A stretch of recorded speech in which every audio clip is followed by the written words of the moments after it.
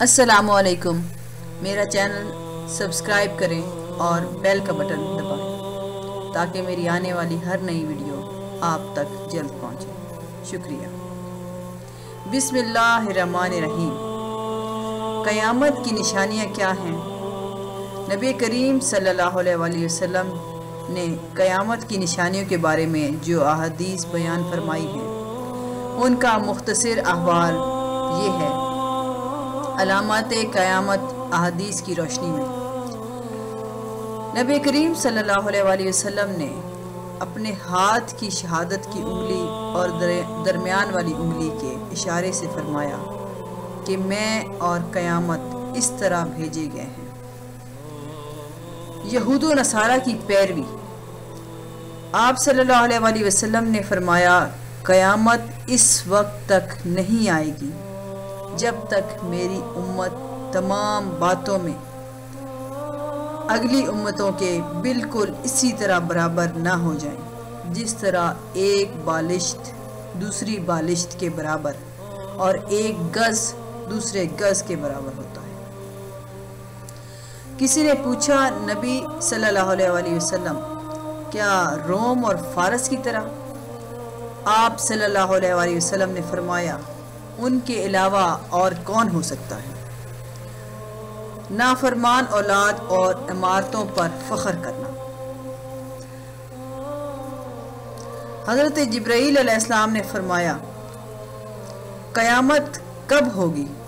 آپ صلی اللہ علیہ وسلم نے جواب دیا، جب لونڈی اپنے سردار کو جنے گی اور جب سیاہ اونٹوں والے یعنی سیاہ اونٹوں کو چرانے والے عمارتوں میں رہنے لگیں گے۔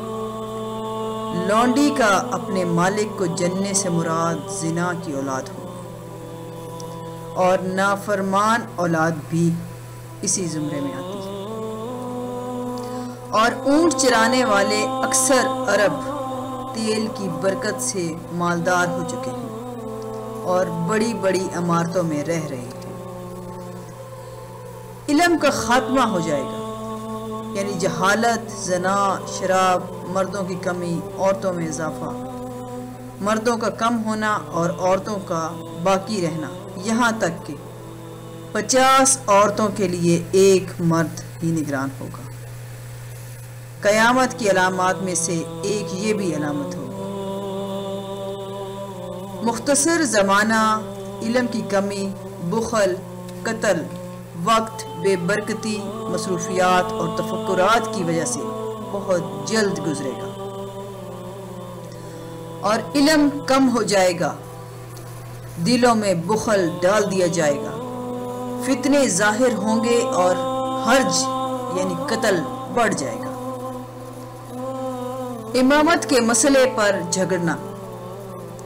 ایک نشانی یہ بھی ہے کہ اہل مسجد آپس میں لڑیں گے۔ اور ان کو کوئی نماز پڑھانے والا نہیں ملے گا۔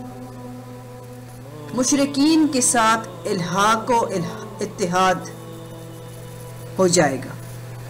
پھر فرمایا، قیامت اس وقت تک نہ آئے گی جب تک میری امت کے کئی قبائل مشرقین کے ساتھ الحاق نہ کر لیں اور بتوں کی پوجا نہ کر لیں۔ اس کی مثال بھارتی ہندو بت پرستوں کے ساتھ دوستی کرنے والے ملک اور لوگ ہیں۔ ایمان کا صبح و شام بدلنا اور مسلمانوں کی لڑائی۔ آپ صلی اللہ علیہ وآلہ وسلم نے فرمایا، قیامت کے نزدیک فتنے سیاہ رات کے ٹکڑوں کی طرح ظاہر ہوں گے۔ آدمی صبح مومن ہوگا تو شام کو کافر ہوگا۔ اگر شام کو مومن ہوگا تو صبح کو کافر ہوگا۔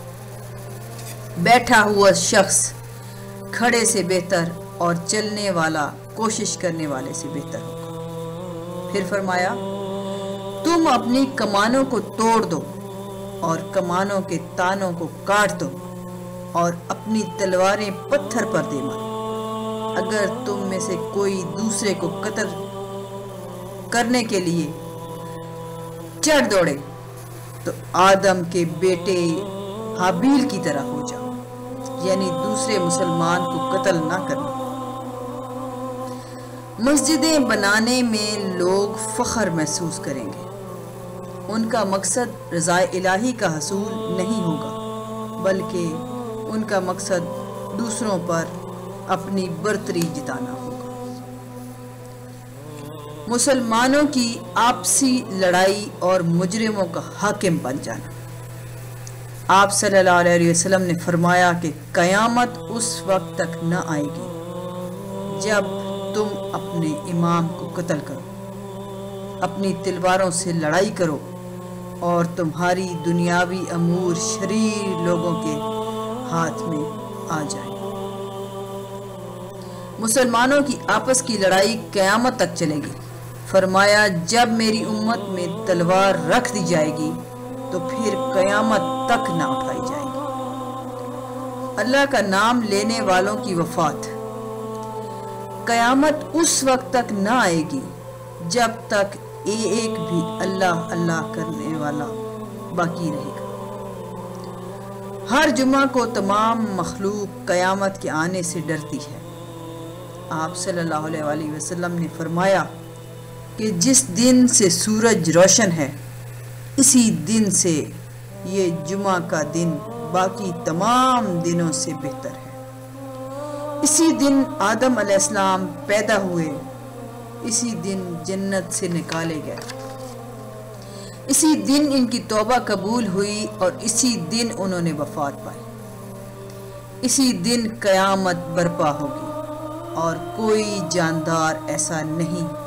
ماں سوائے انسانوں اور جنوں کے، جو جمعے کے دن صبح سے لے کر شام تک قیامت کے ڈر سے کان نہ لگائے رہتا۔ تو سامعین، قیامت کی یہ کچھ نشانیاں ہیں جو میں نے بیان کی ہیں۔ باقی نشانیاں انشاءاللہ اپنی اگلی ویڈیو میں بیان کروں گی۔ ویڈیو دیکھنے کا شکریہ۔